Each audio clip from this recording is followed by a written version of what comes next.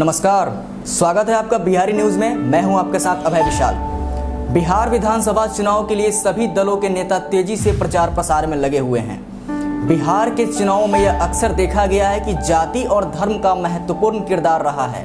पूर्व में भी कई राजनीतिक दल जाति और धर्म को आधार बनाकर सत्ता पर काबिज हुए हैं। बात बिहार के राजनेताओं की करें तो कई ऐसे नेता हैं जो अपने निजी जीवन में जाति, धर्म से ऊपर उठकर प्रेम विवाह किए हैं। और समाज को बदलाव का एक रास्ता दिखाए हैं।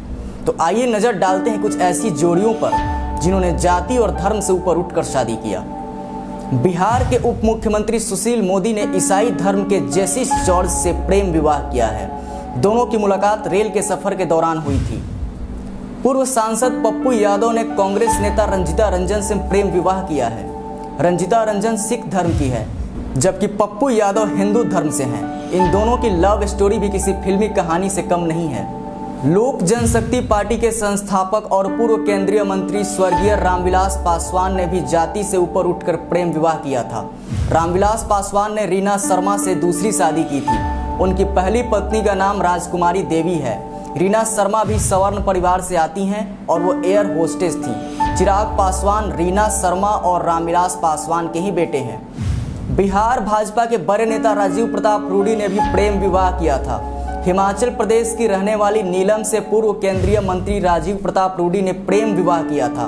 नीलम भी पेशे से एयर होस्टेस थी। पूर्व केंद्रीय मंत्री और भाजपा के वरिष्ठ नेता शाहनवाज हुसैन जाति और धर्म की सीमा लांघकर शादी किए हैं। मुस्लिम समुदाय से आने वाले शाहनवाज हुसैन ने हिंदू धर्म की रेणु से शादी की है।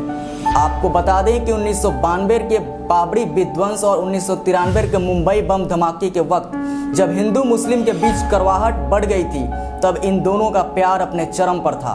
उन्नीस में इन दोनों ने शादी कर ली थी। राजद नेता श्याम रजक ने भी जाति से ऊपर उठकर शादी की है। उन्होंने पेशे से पत्रकार अलका से प्रेम विवाह किया है। श्याम रजक पिछड़ी जाति से आते हैं, जबकि अलका सवर्ण जाति से आती हैं। समाज के डर से इन दोनों के परिवार वाले इनके शादी के खिलाफ थे, लेकिन अंततः वे मान गए। इनकी शादी में बॉलीवुड स्टार शाहरुख खान ने भी शिरकत किया था। तो ये बिहार के उन दिग्गजों के नाम हैं जो बिहार की राजनीति में अपनी खास पहचान रखते हैं और इन्होंने जाति और धर्म से ऊपर उठकर शादी की है। तो आज के लिए बस इतना ही। बिहार की हर छोटी बड़ी खबरों से रूबरू रहने के लिए देखते रहिए बिहारी न्यूज़। धन्यवाद।